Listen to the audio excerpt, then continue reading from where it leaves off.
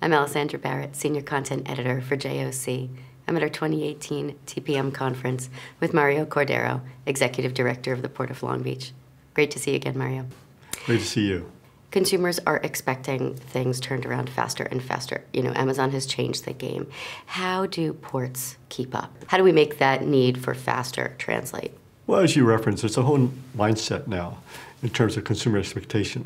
Ports have, in past years, talk about efficiency and reliability. Those are key messages that we're continuously working on. But now you have to add the word speed. It's paramount that we move that container from ship to shore and out the gate. So it's all about speed now. You can control certain aspects of that, certainly.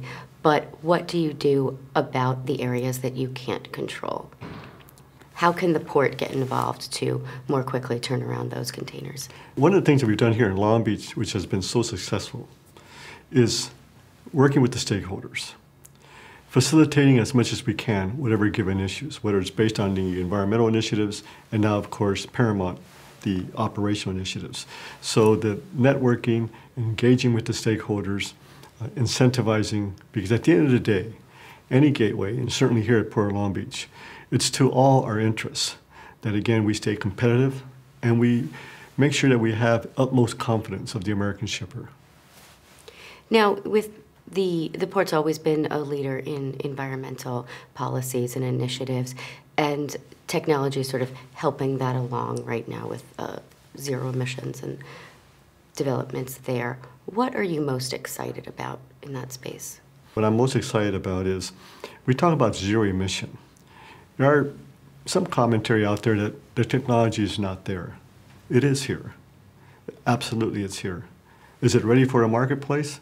Not right now, but we have demonstration projects. So with regard to our environmental goals, our quest for zero emission, we have a lot of comfort in terms of that, those expectations, 2030 for equipment, 2035 for trucks. That gives us a number of years to really tweak this technology. I'm confident we're going to be able to do that. As it relates to the operational aspects, the technology of what we're doing here at this gateway, the information portal system, uh, and Port Long Beach recently has now engaged now with GE on a pilot project.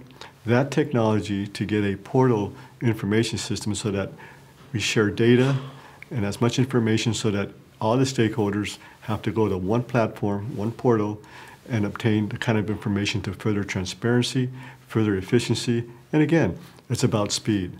And the quicker we do this, again, I think the consumer and the American shipper will be very benefited by this. Thanks for taking time from the conference to sit down with me today, Mario.